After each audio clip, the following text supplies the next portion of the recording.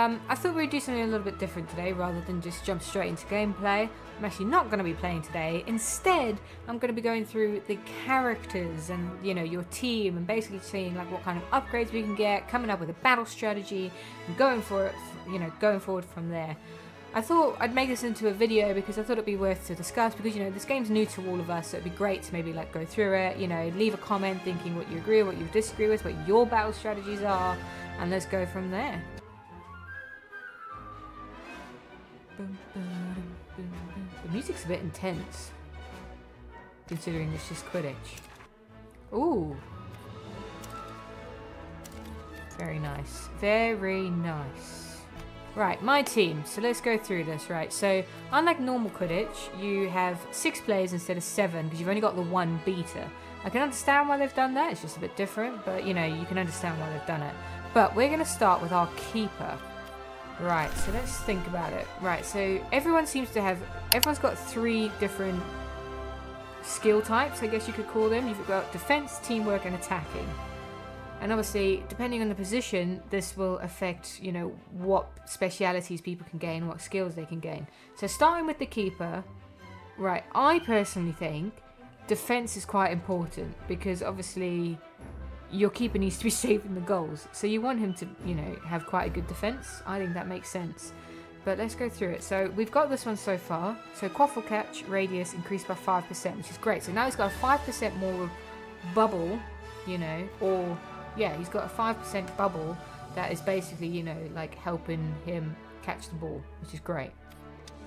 Number two, Soz. Reverse maneuver speed. Reverse speed while driving or recenter increased by 35%.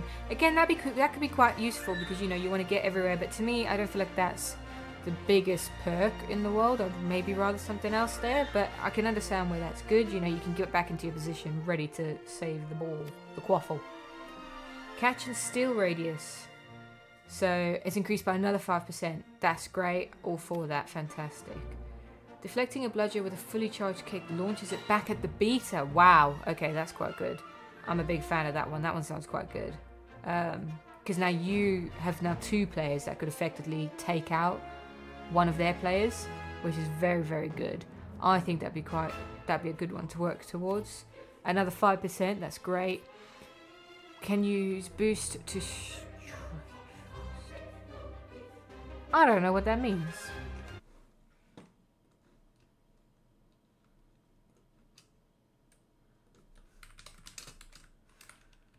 Attack repeatedly with bombs and or machine gun fire. An attack from a low aircraft. Well, that's interesting.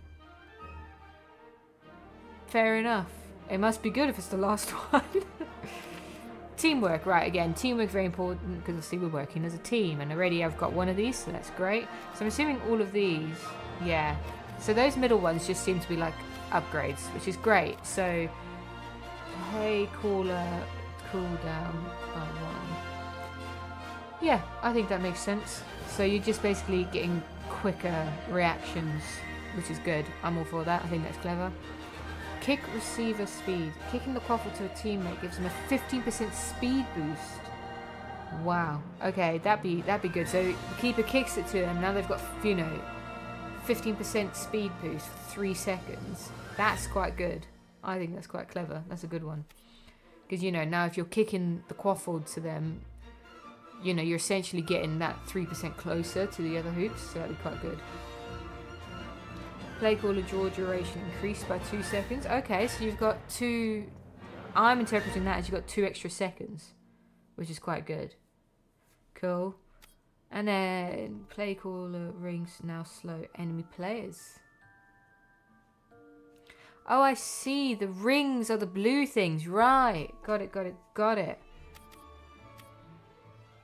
Oh, okay, so these rings will last longer. Got it. Got it, fine. And if an enemy person, if an enemy player goes through them, they are reduced by 20%. Wow. Now that is good. Okay, I'll give them that. I didn't understand at first, but that's good. That's very, very good. I Haven't got any attacking yet. Kick damage. You know what? Yeah, that kick damage could be really, really good. You know, just taking the health out. That's really, really good. Power kick. Quaffle deflections with fully charged kicks stun and damage enemies. Quaffle is uncatchable by enemies for four seconds. Wow. Okay, that's very, very good. I'm I, I'm pro that. It's funny because you don't usually assume that the keeper's going to be attacking.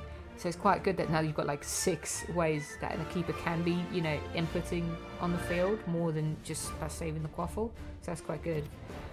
Kick lunge. You now lunge forward a short distance when kicking. So I'm assuming essentially that just means the quaffle gets a look, you know, more forward. So that's quite good. Free flight unlocked. Can use boost to fly forward using free flight. Fair enough. I'll be honest, don't fully understand it, but I feel like the more you play the game, the more you'll be like, I need free flight. Fair enough. Alrighty, well there you go. So that's the keeper. I think, oh, I think defense and teamwork is where I'm going to be focusing, but that attack, I'm thinking I'm going to go 2 2 1. 2 2 1. So if that makes sense. So once these both have their first two, then I'll get one of their. Then when these ones are on the fourth one, then I'll get the second one on attacking. And I think that's probably the way I'm going to work the keeper. So yeah. Right, chasers. Let's go. I've actually been enjoying playing as the chaser. I didn't think I would. Um, but I'm actually really enjoying this, the playing as the chaser. It's quite fun. And like, you know, you have the main control of the game, really, as the chaser. That's who you're playing as the most. So it's quite cool. Right, Quaffle carry speed. Speed penalty while carrying the Quaffle reduced by 15. So you obviously then slow down when you've got the Quaffle, which makes sense because now you're carrying, you know, the Quaffle and all of that kind of stuff. But then obviously now this is just reducing and reducing. So that I think is quite good because essentially you're just going to be getting quicker. So that's quite clever. I like that. Charge throw. Holding down... Well, I don't know what that would be on the control. I'll have to look that up charges your throw, allowing you to throw the quaffle faster. I have noticed that when you throw it, the, you know, there's a bit of a delay, so that obviously is going to affect that. That's great. Throw the quaffle 25% faster, same thing. Again, probably going to have to learn what this is on the control, but that's fine. Without the quaffle, charges a kick shot, which launches the quaffle in the direction you're aiming when you receive it. Ah, so you're going to call for it, and you're going to press this button, and you're to boosh. That'd be good at scoring goals. That'd be very, very good. I'm all for that. Teamwork. Now I can imagine teamwork for the chasers is quite important because, like I said, you know they're the, you know they essentially take up half the team because there's three of them, and they need to be in sync with each other and they need to kind of be in sync with everything else going on. So I think this is quite important. Pass lock on distance increased by 10 meters. This is great because I feel like at the moment, like you know, you lock on to a person and then they're like gone, and it's just like, oh, but I can still see you, but why can't I pass you the ball, the quaffle? So I keep calling it a ball, and I apologize. Um, so then obviously this is just going to get bigger and bigger. So essentially you're going to get an increase of 30 meters by the end of it, which is that's quite insane. That's quite a lot. Drafting unlocked. Flying behind teammates builds speed, increasing up to 20% boost over 3 seconds. Wow, so now you fly behind your teammate and you just essentially get quicker. That's insane. I like that one. I like it.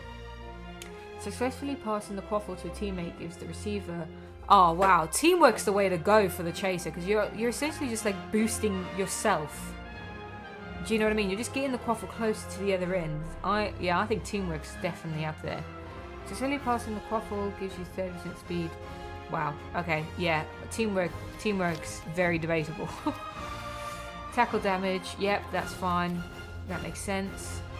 See, I feel like I feel like tackling's less important for the chasers, but then equally as important at the same time. It's quite strange, but yeah, I think teamwork is just a bit more important there. Okay, fine, fine, fine. So just more damage space. Oh, okay, that is good. That is very good. So now you're essentially like ruining that player's chances of catching you back up once you've tackled them. So that's very good. Uh, yeah, that's quite cool. Stealing the quaffle from an enemy gives 20%. Okay, good. Yeah, that makes sense. I can see why that would be really useful, but again, I don't think I'm going to go for the blue one so quickly. I don't think I'm going to go for tackling that quick. Teamwork, definitely. Going to build that up pretty quick. I think I'm going to go teamwork, maybe then tackling, and then quaffle handling. So I might go for every two here, I do one and one, two, one and one, two, and then just build these guys up slowly. I think that's the way to go for the chaser. Obviously, all three chasers are just going to be the same, so I'm not going to go through each individual person. Um, but onto the beater. Onto the beater. Let's let's see what the beater can do. Now, it's quite weird. I don't tend to play as the beater. I'd like to, you know, as I progress in the game, I'd like to think that I'm going to probably get better at playing the beater. So to me, my kind of mindset is while I'm not playing the beater, and this is the same kind of mindset I've got for the keeper, while I'm not playing as them, I feel like they're the ones that should be getting the skill points a lot quicker than the chasers and the seeker who I am playing as because they almost need to like handle themselves on their own and i feel like by giving them like better skills they can handle themselves better on their own especially you know considering our level's going to go up and hopefully we're going to be playing online soon. So that'd be great. So that's kind of my understanding. But obviously when you're playing online you choose i think it's different so this doesn't fully matter but that's kind of my mindset for that ow so bludger handling yep yep yep yep so that's that's very good obviously that's kind of what you want because that's literally essentially their job. You're dealing that extra bit of damage, and eventually you're going to be dealing three extra damage. That's quite that's quite good. Summoning a bludger replenishes boost energy. Okay, so that to me I interpret as I'm summoning a bludger. Now suddenly I've got 30% more boost energy than I did before, which is quite that's quite something. He's looking very intensely. My guy, hope you're okay. Right. Um, rapid fire. Bludger summon cooldown reduced by two seconds. Great. Cool, cool, cool. So that means now you can be hitting more bludgers more frequently. You can target the quaffle. Ooh. So if you intercept the right pass there, you can be knocking that ball. Or if they're going for a shot on the on the rings, that's quite good. Yeah, but to me, you see, to me, this one's very important.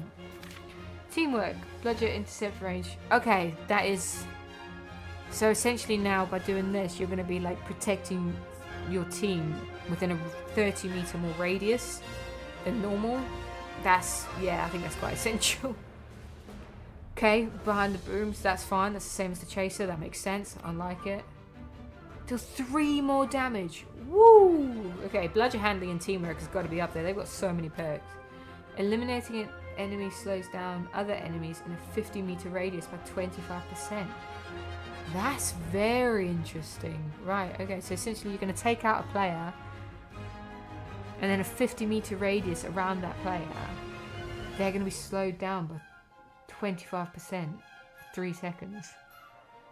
Whew, that is good. Yeah, these two are doing it for me. right. Tackling an enemy deals one additional. So now, are these accumulative?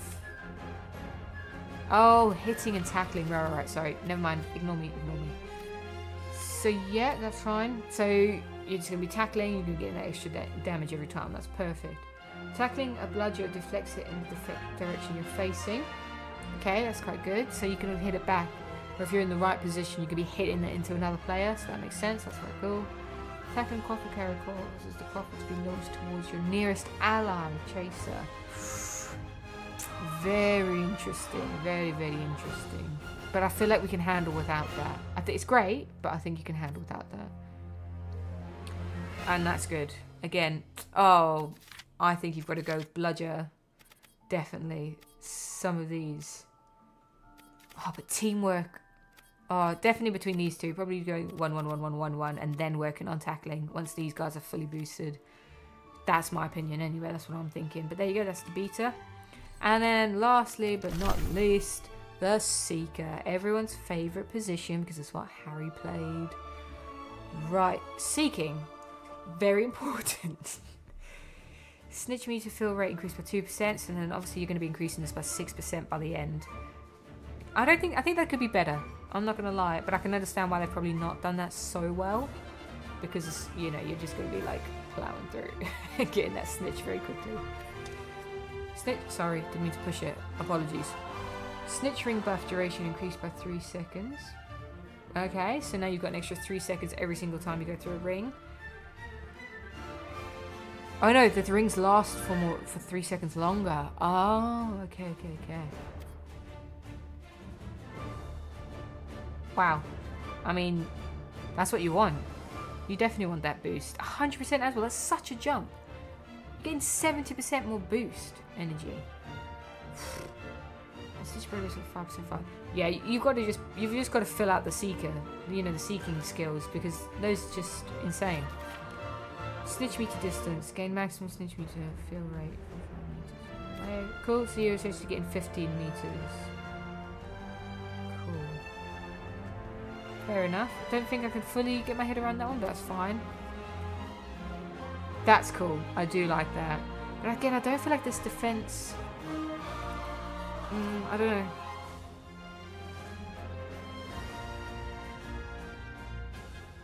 Okay. That's interesting. So now you, a seeker can suddenly inherit the ability of a beater if a bludge is coming at them. That's quite interesting. That's quite good. Now that is important. Thick skin's very important. But like, I just don't like the fact you've got to get through all of these to get there. Do you know what I mean? Okay, disruption. Bumping an enemy seeker. Now this I like. I'm, I'm a bit, I'm for this. Being able to bump that seeker and give them damage as a seeker. And then if you've got your beater hitting in, yeah, I think disruption is quite good. Bumps home.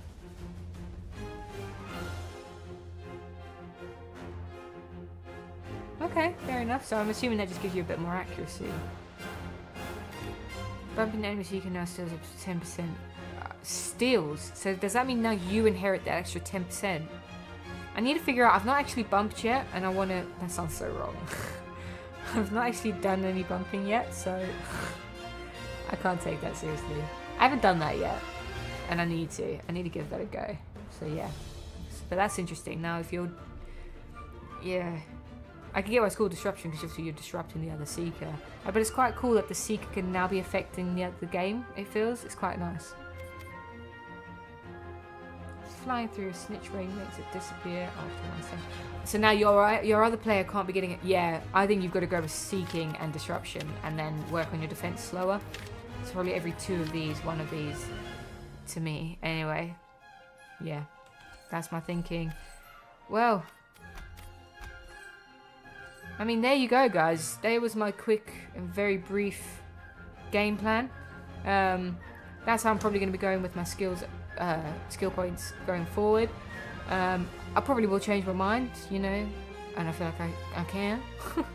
um, yeah, I just, some of those are very useful, very, very useful. You can see why, like, you can see how, like, playing more throughout the game essentially makes you better and makes your players better, which I think is a really cool little asset and little perk.